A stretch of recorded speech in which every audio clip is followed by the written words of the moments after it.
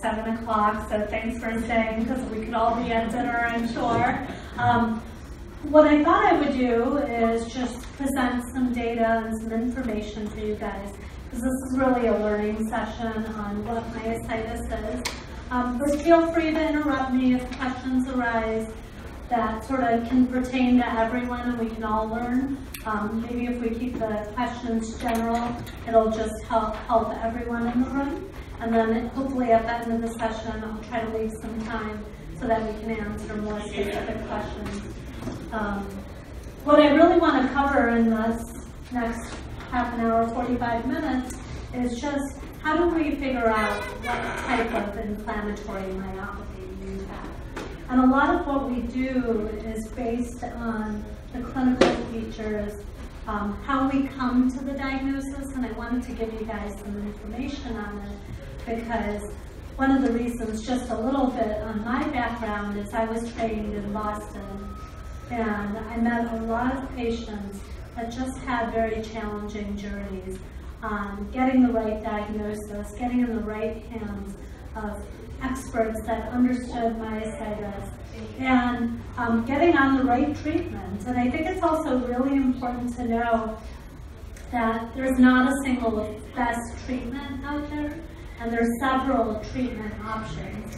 And um, I actually have a bunch of slides at the end for patients with um, treatable myopathies that there are several options, and I think it's very important for you guys to know about this. Um, so a lot of times, and in these next three days, you're going to hear a lot about how we categorize inflammatory myopathies. And in general, I think there's about four big categories that you're going to hear about, from polymyositis, dermatomyositis. There's a relatively newer entity called necrotizing myopathy, and that muscle disease is the muscle disease that's been associated with statin medication use, the cholesterol medication. And there's new antibodies that have been discovered that helped us identify this one. And then the reason that I put inclusion body myositis further down and separate from the three up above is that we still believe that the top three are categorized as autoimmune conditions that respond to immune treatment. Um, but inclusion body myositis, from what we have seen, does not respond to immunotherapy. So I have it further down. Um, yeah. question. You just mentioned uh, antibodies, and um, on the former chart you had as part of diagnosis antibodies. Is it typical that antibody testing is something that's done as part of diagnosis and treatment of this disease? So um, I think it really depends on your clinician, but my colleague and I at UC Irvine, we make it a part of our routine testing. And I, I'll show you some data that um, I find very important and very helpful in diagnosing patients accurately with the condition. Got a quick question. Yeah. You, you say that IBM isn't autoimmune or it's only partially autoimmune? So I think the jury and the verdict's still out. If you um, ask all the experts, we're still unclear of the exact mechanism, which I is why. people it's an autoimmune disease. Yeah, and you know, some people categorize it. Some people wonder if it's an inflammatory condition because we see inflammation in the biopsy. Others wonder if it's a neurodegenerative condition. So um, there's still a huge war between the two different parties of what the accurate answer is. But um, bottom line is, is it still seems to be unclear. I'm just curious, when you do the muscle biopsy, what exactly are you looking for? I'll, I'll show you some pictures Okay, on that that might help you answer.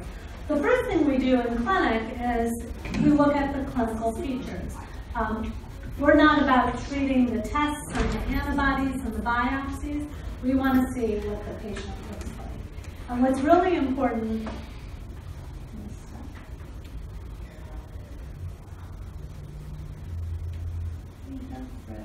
Let me try to see if I can. Okay. Okay, so the reason that, um, and just to get everyone on the same page, PM stands for polymyositis, DM dermato, and the IMNM is the necrotizing myopathy. That's typically the one that we are talking about statin, cholesterol medication related. But the reason I lump them all together is because when we look at these patients clinically, they basically look like the same type of weakness.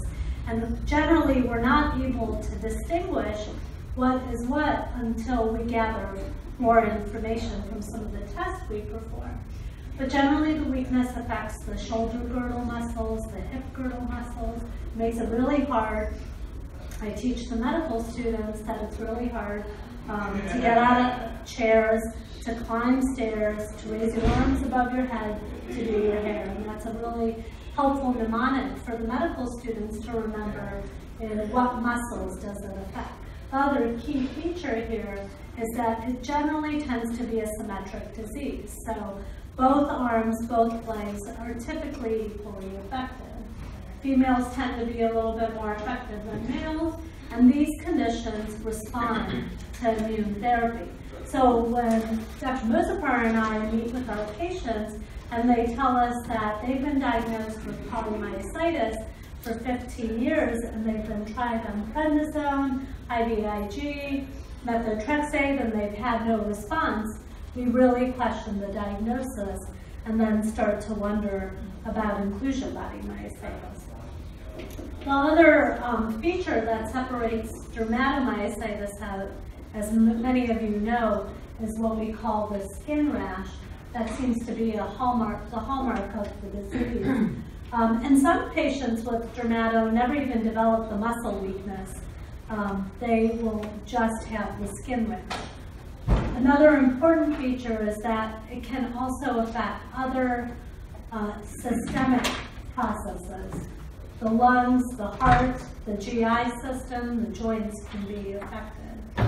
And one of the hallmarks of dermatomyositis that you can see here is this rash, this purplish color over the eyelids of someone. And sometimes they'll even have some swelling over the eyelids, and we call that edema or, or periorbital edema. And that tends to be the most classic rash with dermato. So in the prior session, someone was questioning just a skin rash over the abdomen, and do I have IBM and dermato? But as clinicians, we really look for some of these typical features. The rash over the knuckles, sometimes some dry skin or cracking of the fingertips called mechanic hands.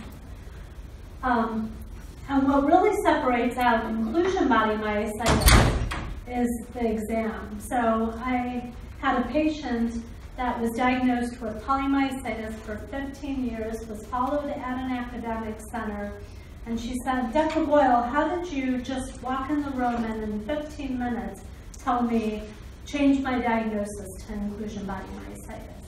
And one of the most important signs for inclusion body myositis is the asymmetric weakness, the age of onset.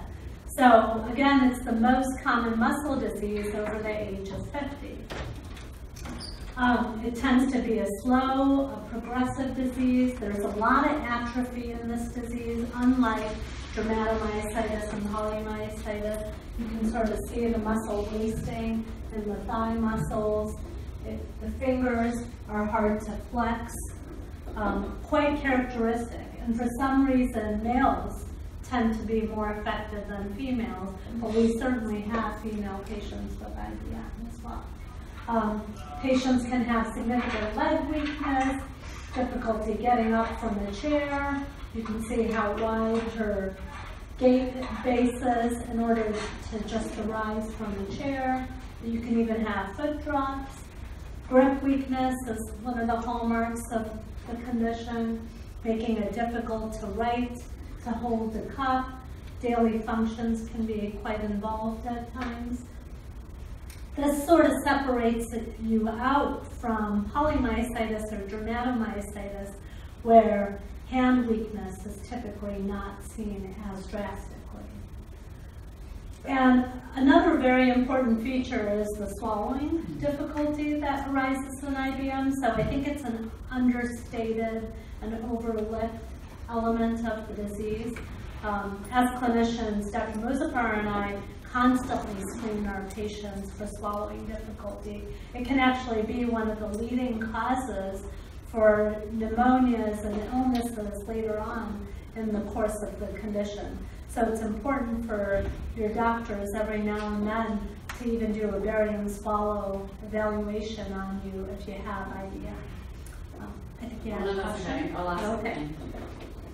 Um, so what I want to focus on is the evaluation because I think the most important part of myositis is getting the correct diagnosis. Before you start embarking on this journey of getting several medications to treat the condition, it's really important to make sure you have the right diagnosis.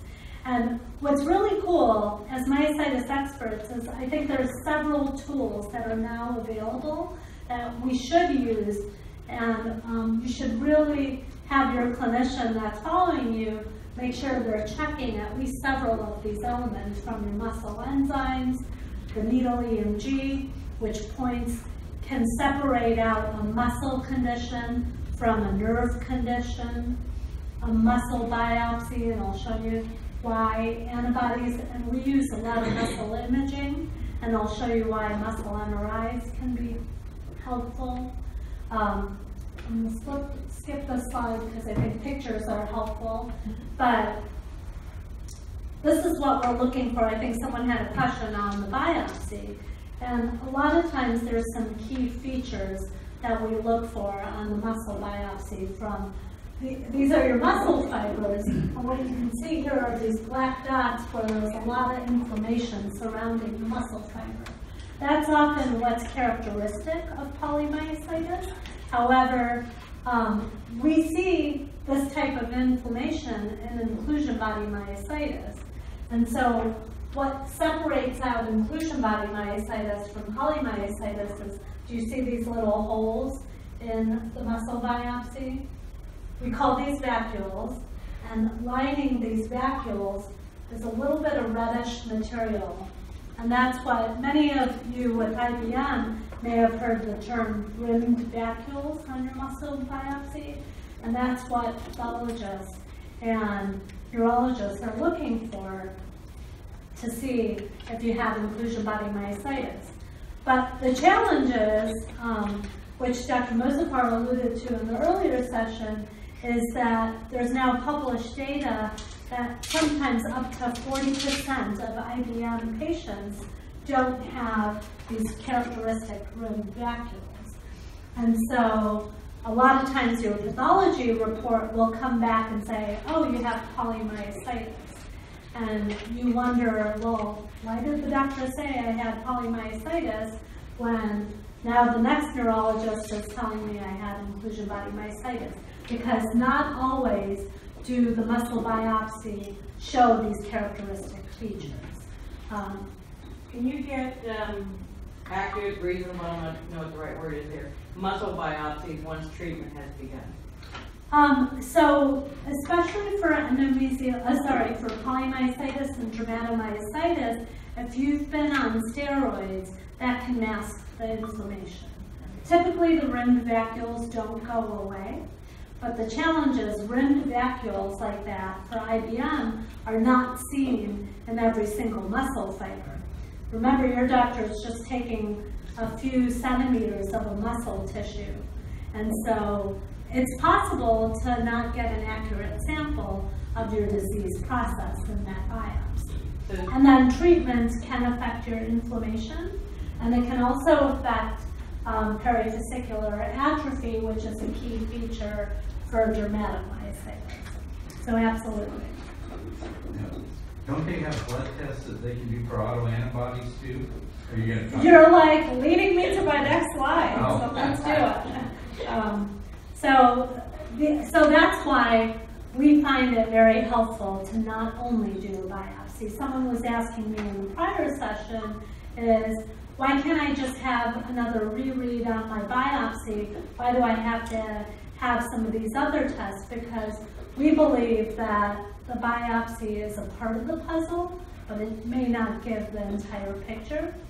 So I think the more elements that you can collect are very helpful. And we find the myositis antibodies very helpful. I think Dr. Mozaffar is giving a session tomorrow on um, just the antibody data alone. So I'm not going to harp on this too much, um, but there are now several antibodies that have been found that are associated not only with the specific disease, right, if it's an antisynthetase syndrome or if it's dermatomyositis, but it can also give you information on your prognosis. How well are you going to respond to immunotherapy?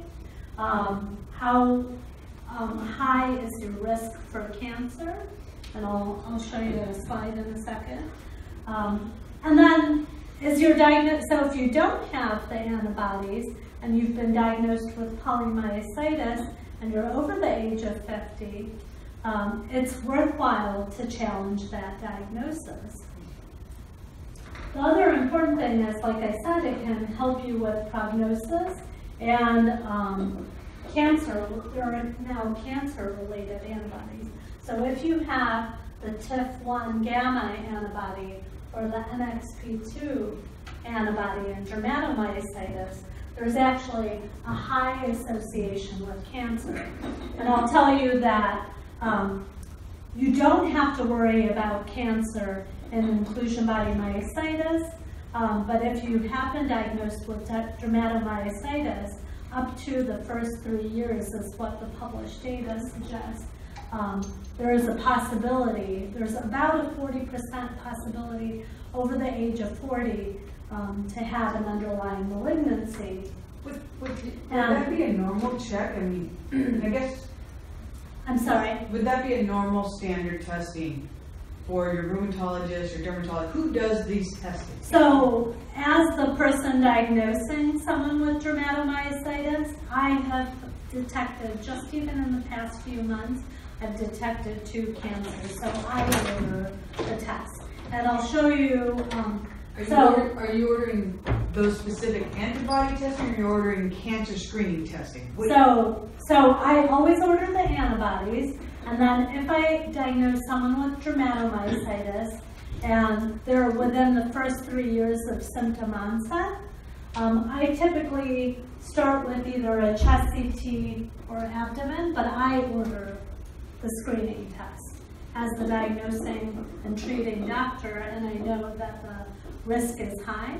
Um, but the reason I'm pulling up this slide is because there was a recent study that compared routine, what we call conventional screening for cancer, which is a chest, abdomen, um, CAT scan, as well as a mammography if you're a female, and a gyne exam, and some blood tests. Um, that's equally effective, if not, um, a PET scan is even better um, than just some of the routine conventional scans. So I typically argue with insurance companies about this data, and I use this data, and I've actually always been able to get a PET scan in my patients with with dermatomyositis. So I, I do find it very helpful. Did you list all the antibodies in the last slide? Uh, no, I was gonna say, Yeah. okay, cool. yeah. I was like, Um, but there, so now with the necrotizing myopathy, there are two antibi- antibodies that are more specific, and that one's the SRP, and the HMGCR antibody has been found. Um, about sixty percent of patients with this antibody have had cholesterol medications, statins. But there is still about forty percent of patients that have never seen a statin and still have this antibody. And a part of the reason is we, we know that statins actually are hiding in our foods too.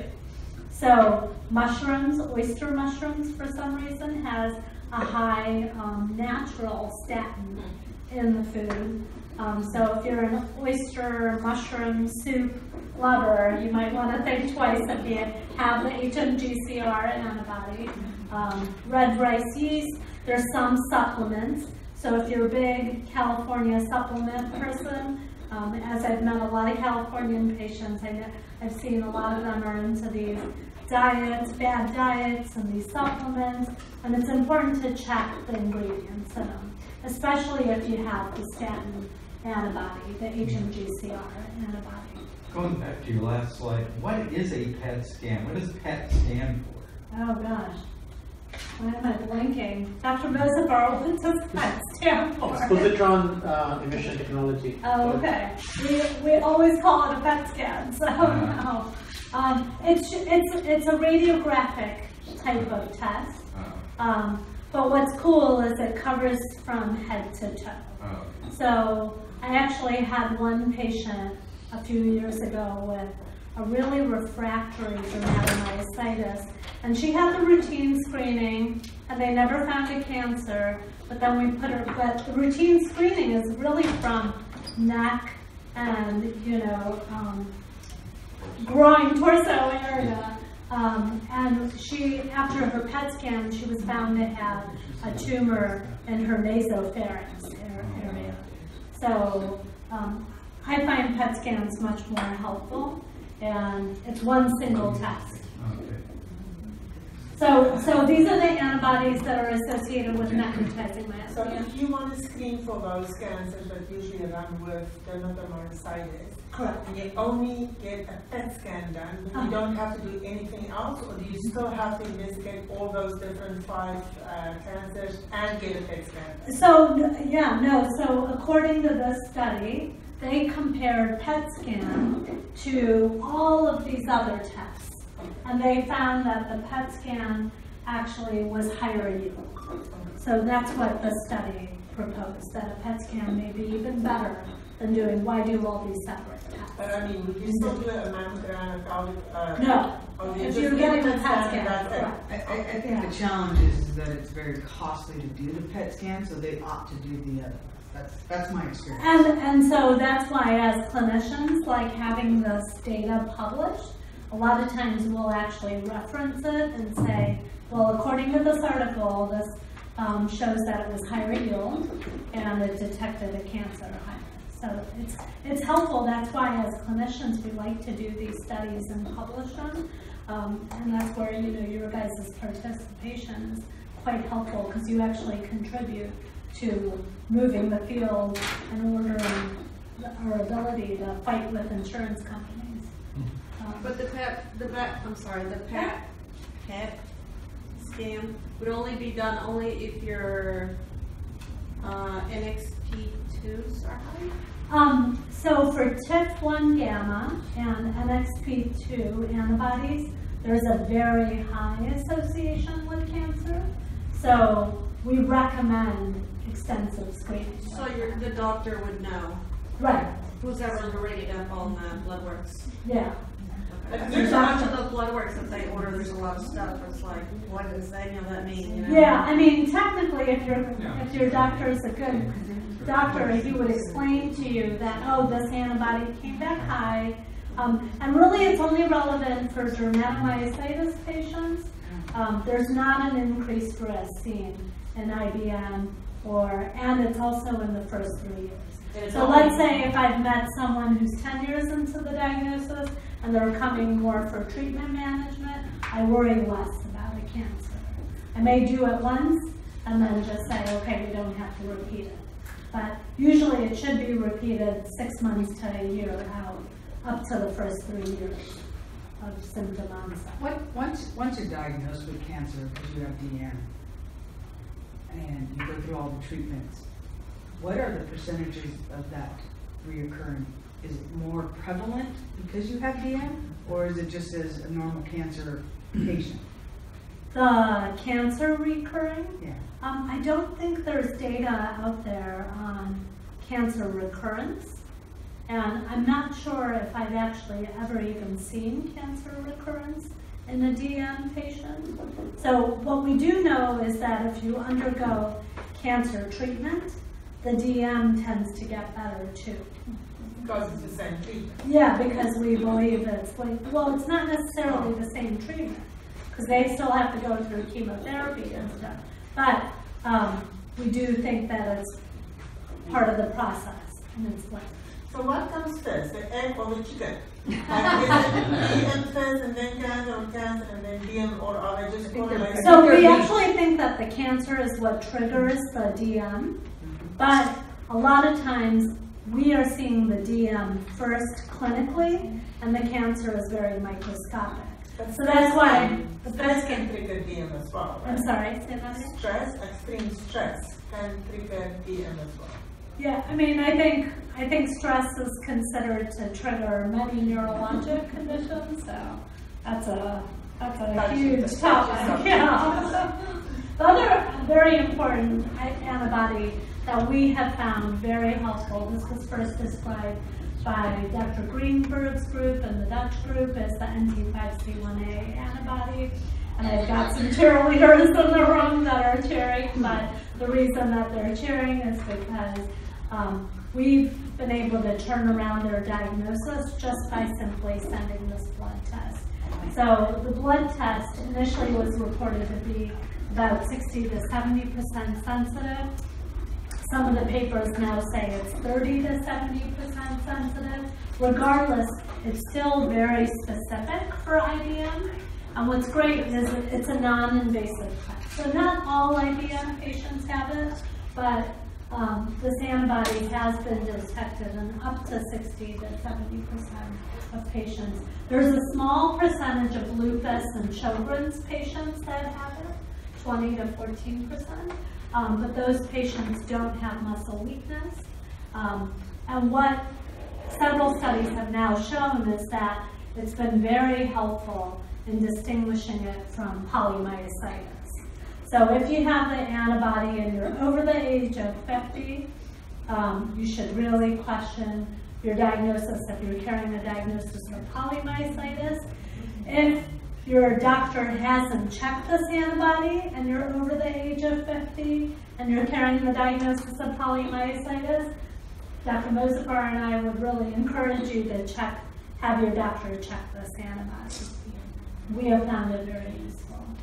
Um, we actually have done a small study that of 25 patients that found that if you have the antibody, it might predict um, a more severe disease.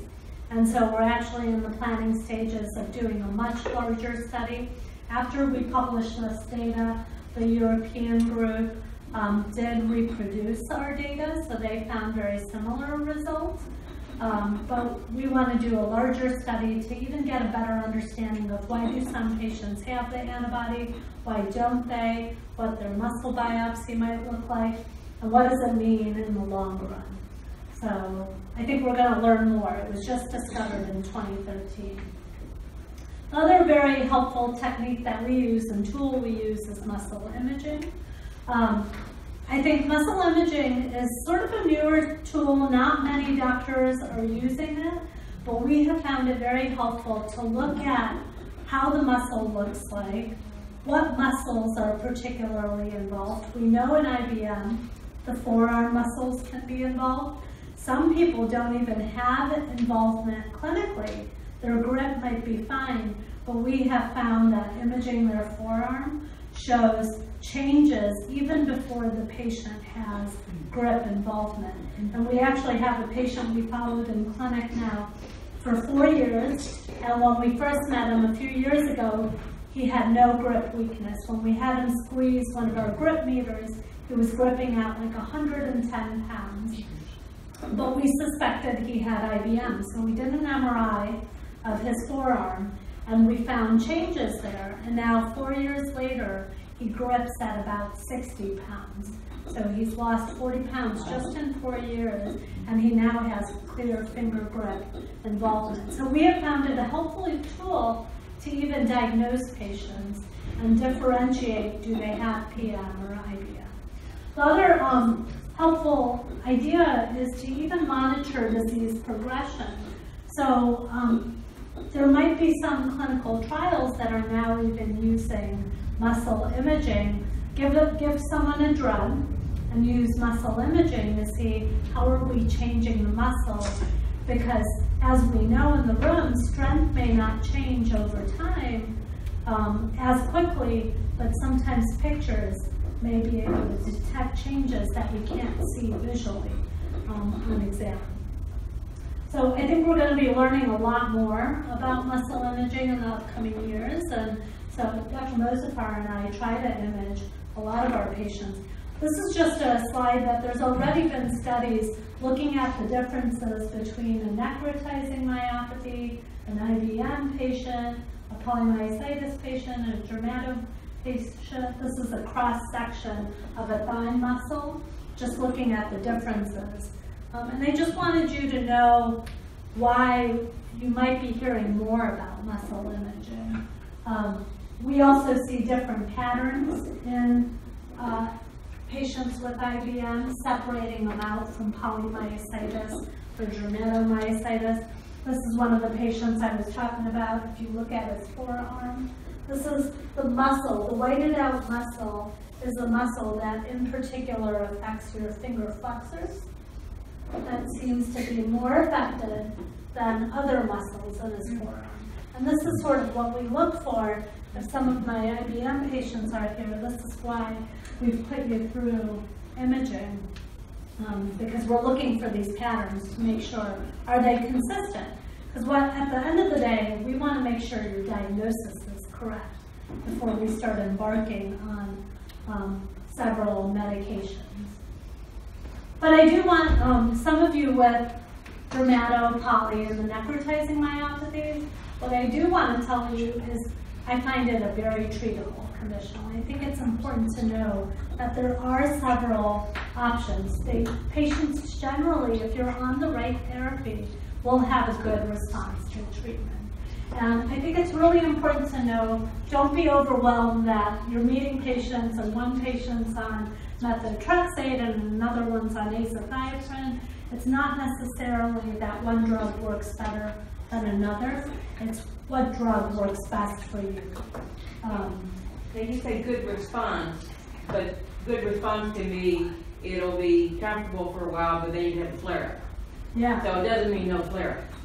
And, and I think part of the flare-ups are knowing when to taper your medications, when um, to adjust your medications, when to add another medication. There's a lot of tricks with the flare-ups, and I do have a slide talking about the flare-ups because I think that's part of the challenge in managing um, some of these conditions appropriately. So I think we all agree as experts that steroids are one of the first medications we use. It's very helpful. There are several second medications we'll add on as different options. Um, I find IVIG quite effective in our dermato-necrotizing myopathy patients. We use rituximab. We use it for patients with more severe disease or ones that haven't responded. And then there's a lot of other medications that we have in our back pocket that have um, side effects but can be effective if some, if some of these other agents don't work. And so some important things to think about is how to start steroids. But in general, we like to start steroids at a higher dose. You know, some people go up to 60 or 80. I tend to use around 40 milligrams in patients with very severe disease or other systemic involvement, meaning other systems involved. I even use IV steroids sometimes. Um, but I think one of the most important points to remember is that steroids, even if you've responded, don't be quick to come off the steroids. They really should be maintained at a high dose for two to four months. So one of the most common reasons for flare-ups to happen is because some doctors will say, oh, you're doing great, and the patient says, yes, but I hate these steroids, they have ugly side effects, let's get off of it, and within a month, they may taper. Or the taper regimen is too fast. So we do believe there is a method to the madness of tapering the steroid, and you should really go slow on that taper. And there, a lot of times we recommend um, tapers by, I tend to be even slower. Um, I know this slide says even every four weeks, but I'll tell you, I often wait eight to 12 weeks um, to taper my steroids, and I really go down by only 10 milligrams. And then when we get to 20, my taper gets even slower. Um, I think it's the rapid taper that results in this bouncing back and forth of the disease, and that's a lot of times where flare-ups and exacerbations happen. Um, the other important thing is steroids are very good, but they're ugly drugs, so they have tons of side effects, and it's important for your doctors to monitor all the side effects. Um, getting on vitamin D, calcium, making sure that you're seeing a dietitian if you're having problems with weight gain can be really important. And the key to being and staying on prednisone. Because I meet a lot of patients that'll say, yeah, I tried it, but I, I couldn't tolerate it. And um, I think it's just really important to be able to monitor, work with your primary care doctor if need be. The other important thing is starting a second medication. So we know that you can't be on prednisone forever because of these ugly side effects. And so we like to start a second line agent a lot of times earlier on in the condition, especially if someone has moderate disease, um, because it can reduce your flare-ups. Um, and it allows for your doctor to come down on your steroids, sometimes even faster than you would if you were just on steroids alone. Um, so I often, when I've diagnosed someone with dermatomyositis or a statin-related muscle disease, I will often put them on a second agent quite early on in the course of their condition. And generally, I start with either methotrexate or azathioprine. Methotrexate is a weekly medication. And I believe these slides are going to be available to you guys, so I'm not going to go through the details, but I just wanted to give you the overview. And azathioprine is daily dosing, twice daily. A lot of times it's dependent on what you can tolerate, what works best for you. I have found that methotrexate tends to work a little bit faster than azathioprine, so I tend to use a little bit more methotrexate than I do azathioprine. Um, and I think that's just because of my experience with better results on these medications. Um, for my older patients that have a hard time remembering, just take it once a week, then I go to azathioprine. And so I take some of these um, things into association, but the pill boxes, my older patients tell, tell me work great too, and then they don't forget. So there are other options. Um, IVIG, I actually am starting to lean towards and using earlier on. If someone has pretty severe disease, I start with IVIG, steroids, and then often add methotrexate up front. Um, it seems to work fast. It seems to work quite efficacious. And we know for the statin-induced myopathies, it, turn, it seems to work really well. So um, another agent you might hear about is rituximab. And we tend to use rituximab more for the patients that have seen um, prednisone, have seen some of these other agents, and have not had a good response. Uh, will then go to rituximab. And I think a, part of it is that it's a more potent drug. Um, there's possibility of some more side effects and tolerability issues. And um, we have less experience with it than some of these more common agents. So, so the reason that I have the statin-related myopathy on a separate slide is just because um, this antibody was discovered relatively recently, so we're just now learning about how to treat these patients. But we do find that IVIG is quite helpful in these patients, and um, they do quite well on these medications. So I'm going to switch to IBM because I know a lot of you have IBM in this room as well.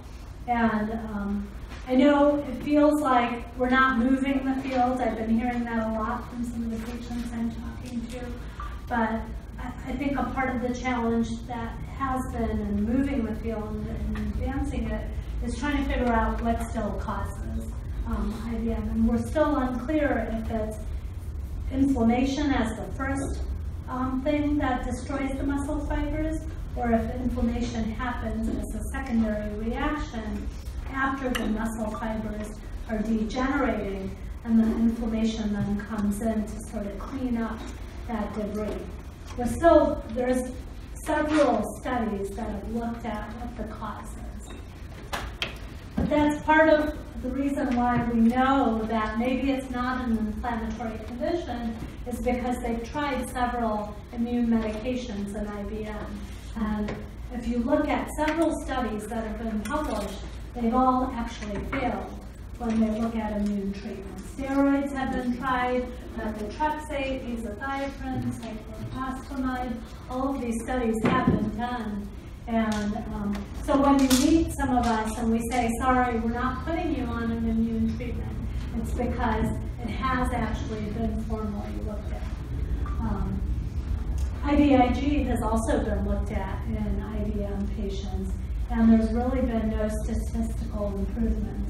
And there's actually a study that was published in 2011 that looked at what it, how do patients that have been treated with immune suppression in IBM compared to those that have never seen immune suppression. And unfortunately, this study, and I don't want to scare any of you, it's a small study and it's retrospective, but there has been some data to suggest that patients that saw immune suppression um, were had increased use of wheelchairs, assistive devices, in comparison to IBM patients that have never seen immune therapy. So the question we ask as clinicians is, do we do more harm by even putting someone on steroids or IVIG or some immune therapy? And then there's, yeah, Um, I was on uh, medications, I'm I'm SIBM, and it seemed like it lowered the CK level, but as your slide said, I got weaker and weaker with time. It seemed like I was stronger for the first year, and then after that, it was downhill so, so we know steroids um, actually lower the CK level. Um, we know it even from our muscular dystrophy patients with a genetic condition. If they, um, these patients, a lot of these muscular dystrophy patients um, have a very high CK level. And if we put them on steroids, within um, weeks to months, their CK will start to lower. They certainly don't get better, but what it's doing is treating some of the inflammation Yeah, and reducing some of that inflammation. and not But- strength. Right, and so that's why we as doctors have always questioned, well then, if we can even change the inflammation, is inflammation the cause of the disease in IBM or not? Because it doesn't seem to affect the strength. Is that, is that true, is that true also for DM? No. So if your CK levels go down, you increase in strength? So, um, so what we have seen, I mean, it, it's not always a perfect correlation, so we don't constantly check our CK levels. Um, for us, the strength exam and the rash is much more important to monitor than the CK level. It's like treating the patient versus treating the lab, right? But we do see a correlation. I will tell you that in patients that started off in like 2000, and we see that they're getting better, their CKs tend to drop to, and normalize too. And then if they have a flare up, I'm not talking about a little hundred here and there, because otherwise, if you're chasing your CK level, you'll drive yourself nuts. But um, major changes can reflect um, changes in your disease process. Does that make sense? In in my experience with the IBM, my CK was down to one fifty, which I, they say is normal, Mm, and yet I felt the worst I've ever felt, Yeah. strength. And what we have seen in IBM patients is that over time, the CK falls. And the CK, remember, is a reflection of your muscle fiber getting damaged. But as we know in IBM over time, a lot of the muscle fiber is just damaged, so there's not an ongoing damage or break that is causing the CK to leak out of the Yeah, that's muscle. my next question. The more damage your muscle has, maybe it's still gonna. Yeah, I mean, I've seen patients with, you know, a bad myositis in the ICU setting to the point where they can't even move and their CK is fifteen. Yeah, And it's just because there's so much muscle damage that there's nothing else to damage anymore. yeah. Yeah, because that was my next question. I'm dying, uh, DM. And, uh, so my CKs were never higher than three hundred and sixty. Mhm. But yet, I was diagnosed July four, but I had the symptoms for a year.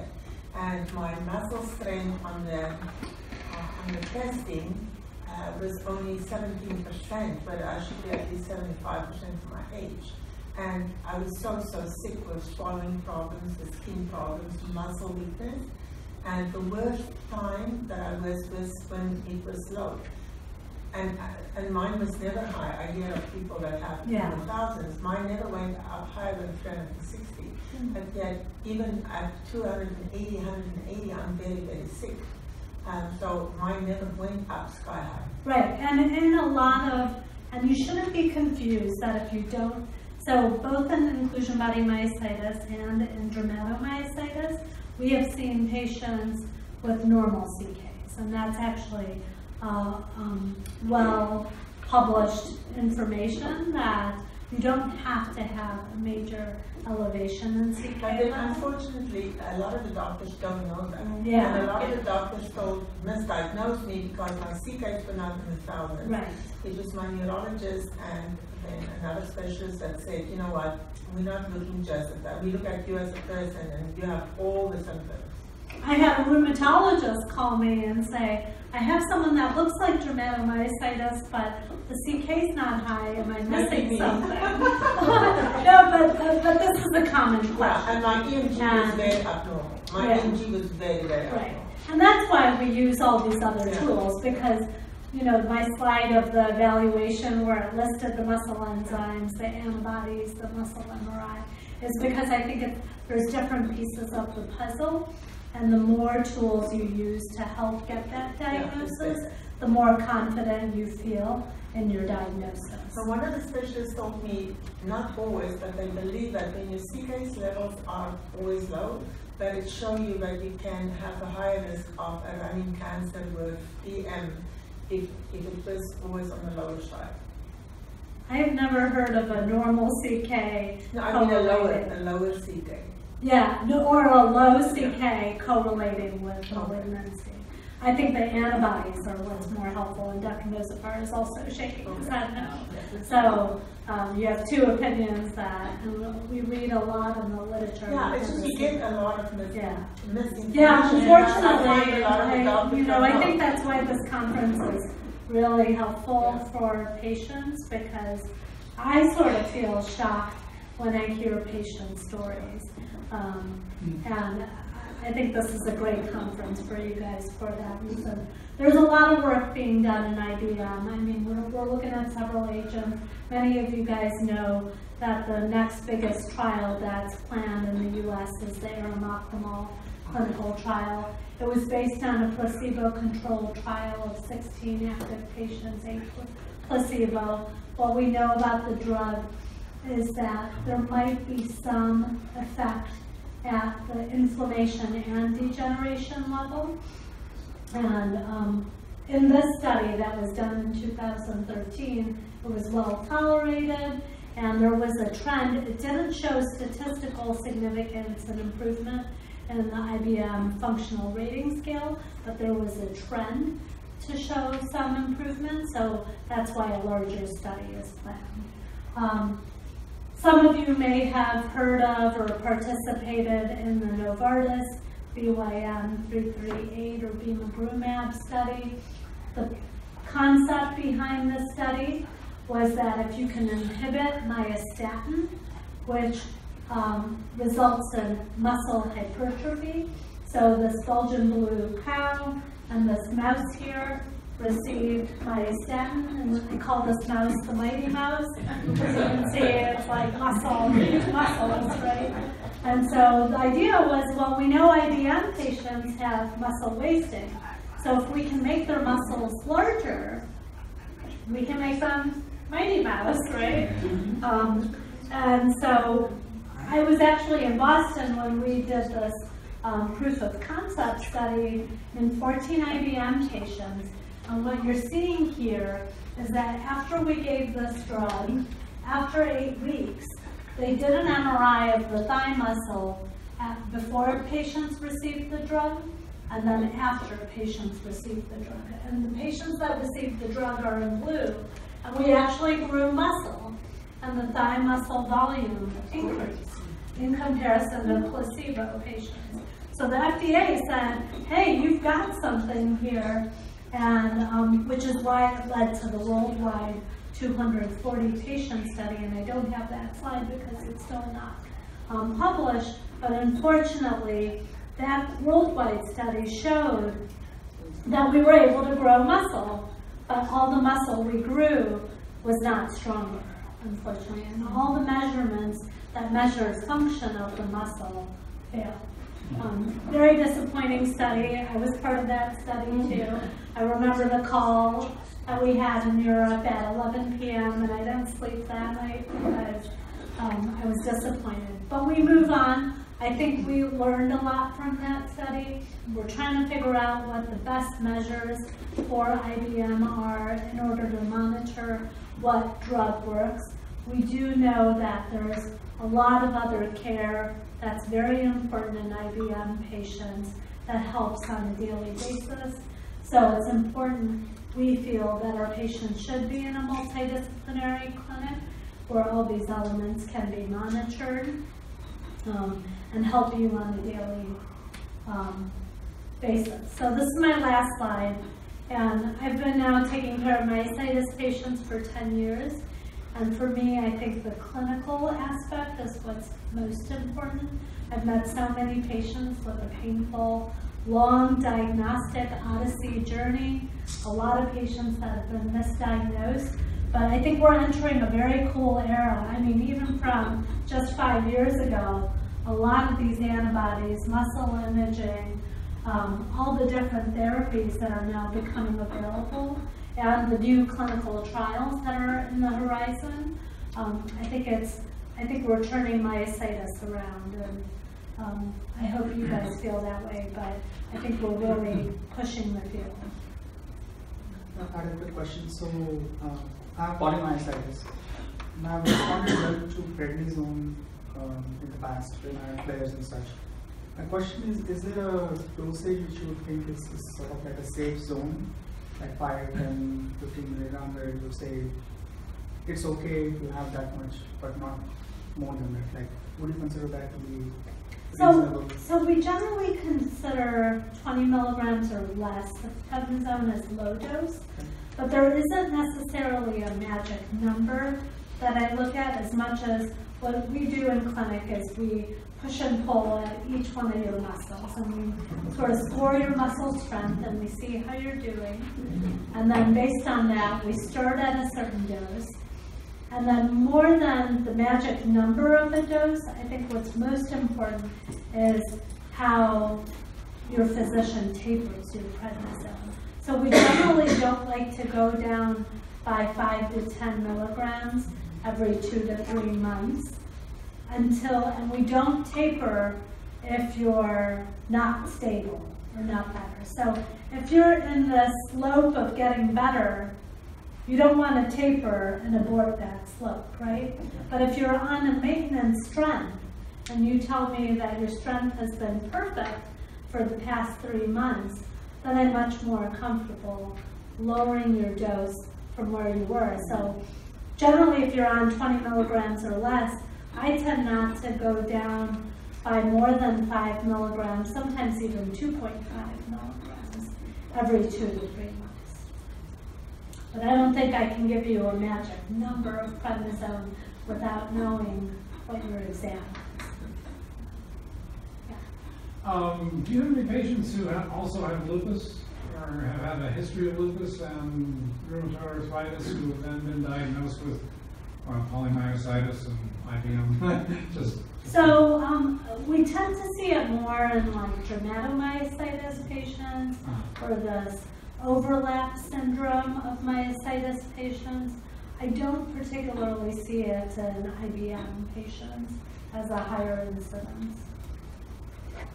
Does that answer your question? I'm just sort of wondering what you do with that, because we have past, uh, past diagnoses with lupus and rheumatoid arthritis, and now finally IBM, and, Yeah. and I'm sort of wondering, you know, how much of this is really, Misdiagnoses, Yeah, yeah. uh, finally, yeah, and I'll tell you, I think that's more common. yeah. that someone was first told they have lupus because they saw a rheumatologist, maybe it's rheumatoid arthritis, and then it, but it's the same process, and then they're finally diagnosed with IBM and the weakness becomes more clear. But if it's a remote history, like in her teenage years, she had lupus, that's a different story. Well, I'm talking about 20, 30 years. Yeah, Uh, In, in other words, if, if, if they're being treated for lupus now, but they also have IBM, should we revisit whether the lupus treatments are, yeah, is she being treated for lupus based on antibodies Yeah. and based on, um, so it's, it's helpful to get a second opinion Yeah. sometimes. Um, and ask what the basis of the diagnosis is, and if it's based on blood tests or not, or if it was just an empiric diagnosis. Uh, my mum has DM and PM and had a um, JO1 antibody. Jo1. Jo1, and but she also had an anti-RO52 antibody. I'm not, I have not seen that anywhere. Do you know anything about that antibody? The R fifty-two. So RO fifty-two, Oh, R. so RO fifty-two is very common. Very Um, so common. It's actually probably the commonest The antibody that you see in myositis. Oh, okay. But it's Yeah. not specific to myositis. oh, okay. So the Jo one Is specific is more specific to the anti-synthetase syndrome. yeah, Yeah. which is what, yeah. Yeah, and the Ro um, 52 can code six. Like your blood test can be positive, but it just suggests, yes, there's a myositis in there. Yeah. Right, but it's not. Jo one is. Jo1 is really specific, whereas, Yeah. yeah. Okay. Is she doing okay? Ah, I don't know. I don't know. Yeah, she's better now that she has the infusions. I see. She always had lots of flare-ups before then, but once she started the infusion, she kind of got. Oh, good. Yeah. I think we, uh, this might be our last question, I guess. Oh, okay, on the record. Um, for, for Make it good. yeah, right, uh, for DM, um, is it the muscles and the- and the skin being attacked, or are the capillaries throughout the body being attacked? I read recently, it was actually capillaries, not the muscle per se, or the skin per se. So, so we do know that there are DM patients that won't have any muscle involvement and can just have skin involvement. But it's sort of, I think what you're asking is what's coming first?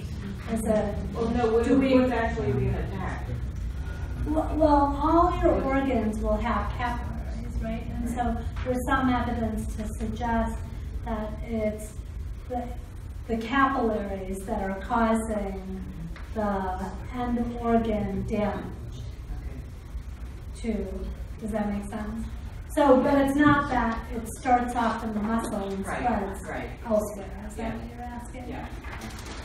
That it's originating through the capillaries, and the capillaries supply all these things. Which is why it can affect so many systems over time. Yeah. Great. Well, thank you all for staying.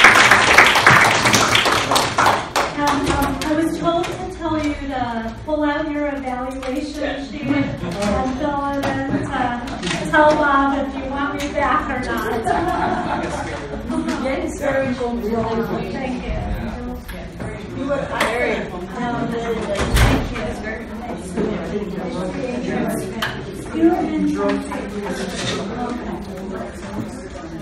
We don't do phone consults. I know there's like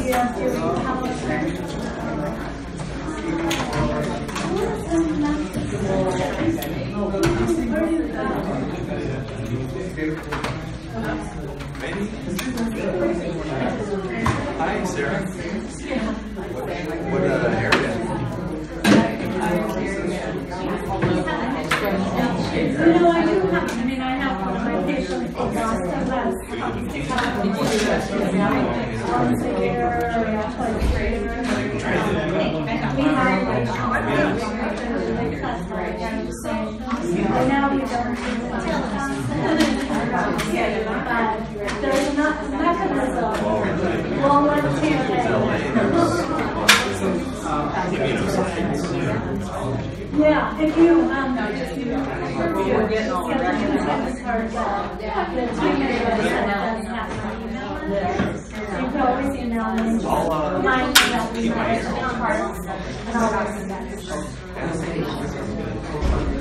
Oh, I was, but they always make exceptions for them. I decided, So you suggest no problem. Okay, yeah. I knew we chatted with my daughter,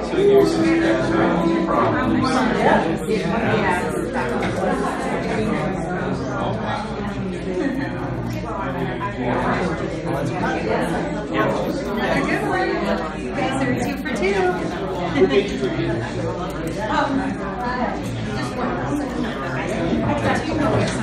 okay, yeah. He's also one of the ones, yeah. She started, yeah,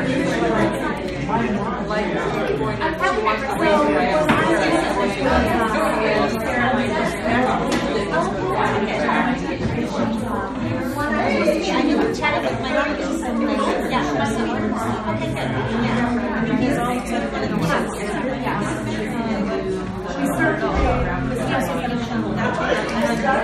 they compile it up. So like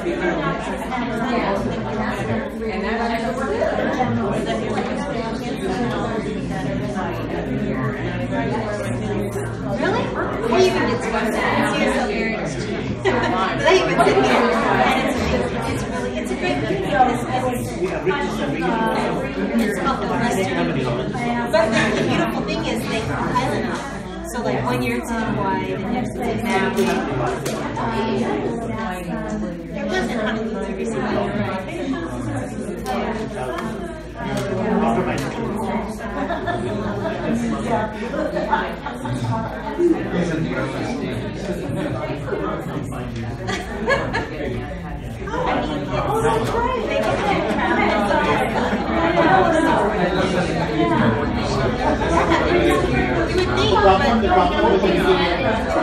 do. They do like a morning session and they'll an afternoon off. And the next day you have the morning off.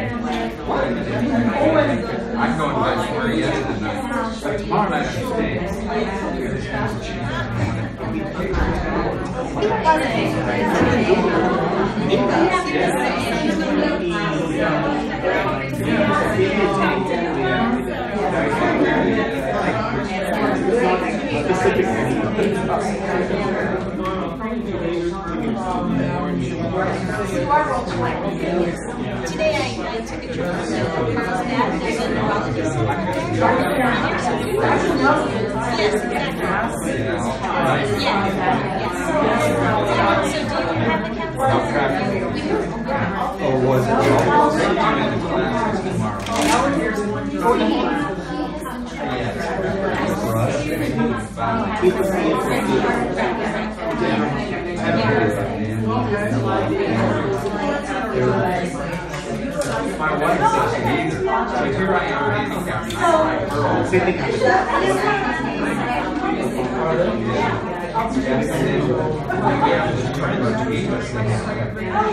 So they don't that's what my question is, do.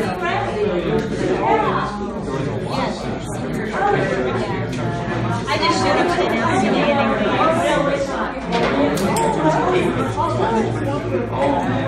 of that practice, I just showed up and they were like. They were like, well, you can do a lunch or a. I know it's a, something, you know what?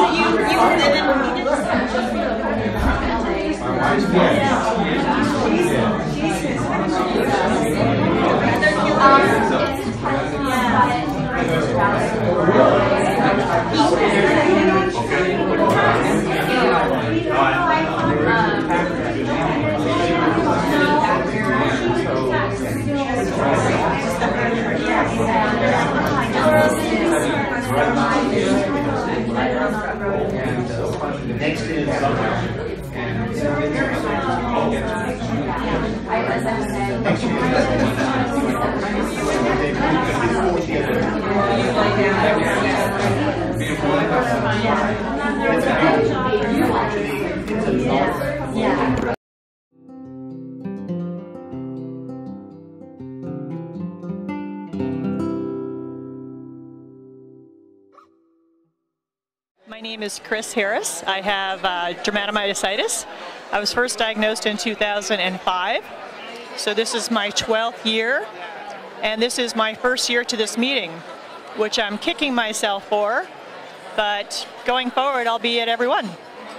Um, my favorite part of this meeting is meeting the patients and their advocates, and I'm amazed at the support that I've received since I've been here from everybody. And I love that people have shared their stories, no matter how challenging, but I love the idea of hope for everybody. And my second favorite part of this meeting is the individuals have, who have donated their time to move this disease forward and try to find a cure, which includes everybody with the Myositis Foundation as well as the panel. Every person who has volunteered their time, the physicians, the physical therapists, the volunteers, and the fact that they've committed to do this as they move forward is amazing to me. And I love it, and I will be here again next year and the year after that. And it just gives me a lot of hope when I was very depressed. So thank you for inviting us, thank you for supporting it, and I look forward to seeing everybody next year. Hello, my name is Anastasia Victorson, and I came here all the way from Stockholm, Sweden. I'm very happy to be here. Is of course, this your first time coming to the Myositis? uh, to this conference, yes, to the TMA conference the first time. What's it been like? It's been fantastic, very informative. I've met my friends, my Facebook friends, and uh, I think, I hope I'll be able to come again. Um, I have polymyositis, but I also have a syndrome that's called the anti-synthetase syndrome. Uh, I have antibodies, a lot of them, but anti-Jo1 is the most common one. And I also have ILD, quite serious. But getting medication, feeling quite okay. The doctor saved my life. Yeah. Very good information. And it's also nice to see the persons, I read a lot. It's also nice to see them in real life, to be able to interact with the doctors. Yes. I'm just happy to be here, having met you too. Take care. And everybody else that hasn't been here, hasn't gotten a chance, please try, because this was really worth it. It's beyond my expectations, really. Thank you.